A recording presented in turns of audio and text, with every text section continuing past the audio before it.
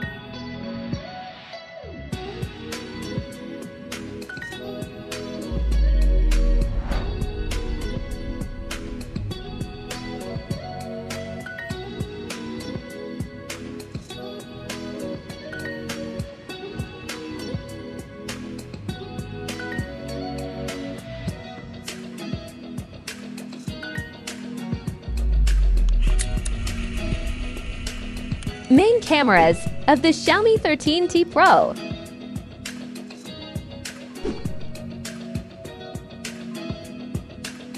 Main cameras of the Redmi Note 14 Pro.